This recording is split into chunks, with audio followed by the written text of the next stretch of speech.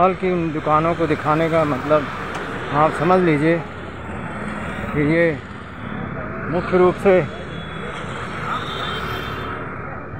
अन्य समुदाय के लोग ये काम करते हैं और ये लक्ष्मी टॉकीज़ के आगे जो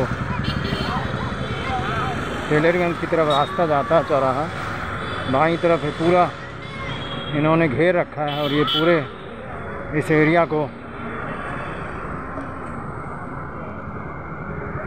फल की सप्लाई करते हैं।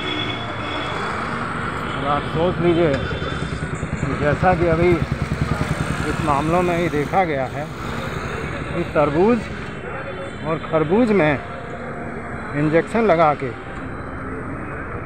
उनको बड़ा किया जाता है और मीठा किया जाता है। और आप समझ सक, समझ लीजिए राज्य की राजधानी लखनऊ में।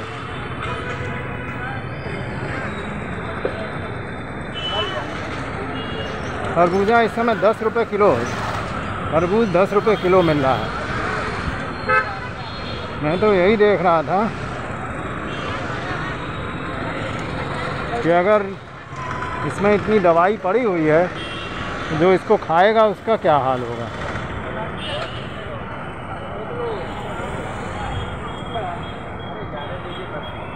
निश्चित ही सेहत सुधारने वाले इन फलों को हमें बड़े सोच समझ कर इस्तेमाल करना चाहिए। नहीं तो इस गर्मी के मौसम में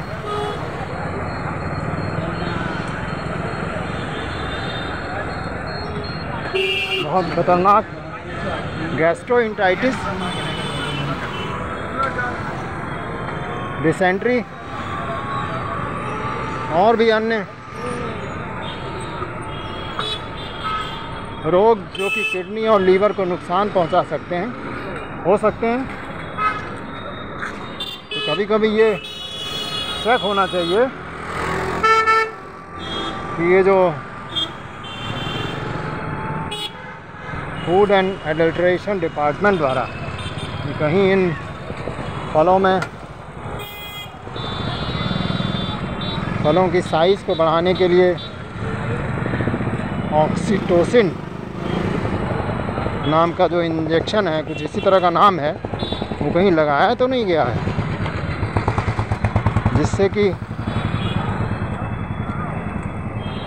साधारण जनता को उसके नुकसान से होने से बचाया जा सके।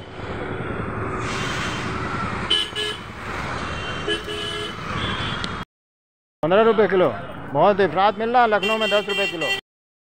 शिवाला मंदिर, जो कि गोवा मंडी के बगल में, बाहर मेन रोड पे है, जो लक्ष्मी टॉकी से रास्ता गया है। जय माँ, शीतला। जय बाबा नीम करोली। बाबा की हद की कृपा के कारण आज यहाँ दर्शन करने का मौका मिला।